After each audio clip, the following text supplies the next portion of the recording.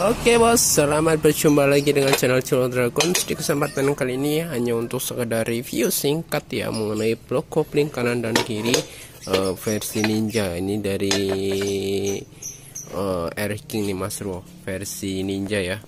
Tuh barangnya seperti ini. Dan ini yang sebelah kanan.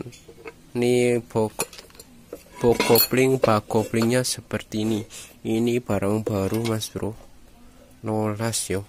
Nolas nolas tuh bagian dalamnya. Aman bos. Ini udah pen-pen ereking tinggal pasang aja nih bang.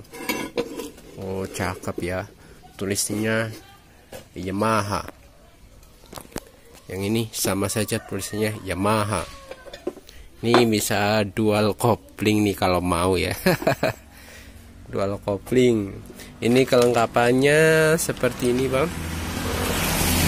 Ini ada stutnya ada kabel koplingnya ada silnya ada cover pompa olinya ada biring bambu dan biring rochesnya kemudian ini tangkapan rumah koplingnya bos. Aliasnya tutup koplingnya buat dikasih uh, biring roches gitu ya mas bro. Uh, kita pasang aja nih mas bro. Uh, seperti apa ya untuk uh, kelengkapannya ketika dipasang ke sini ya. Kalau dipasang ke uh, airkingnya langsung besok review lagi mas bro. Nah ini udah terpasang bang seperti ini ya. Untuk koplingnya emang agak tinggian dikit tuh. Agak tinggi dikit ya ini terpasang stud koplingnya seperti ini. Samain udah Oh.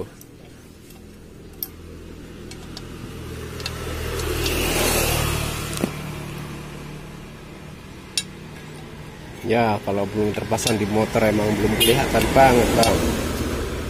Sip lah, paling tidak bisa menggambarkan sedikit ya.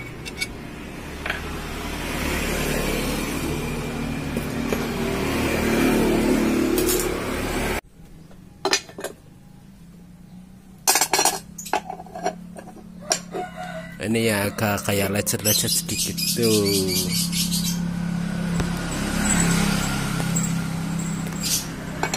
Oke seperti ini untuk gambaran bak koplingnya bak magnet dan juga bak kopling Oke matur suwun.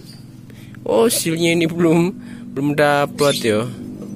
Belum dapat ini harus beli sil Oke bang, semoga reviewnya bermanfaat buat blog kopling Air King rasa ninja. Matur suwun udah nyimak dan wassalamualaikum.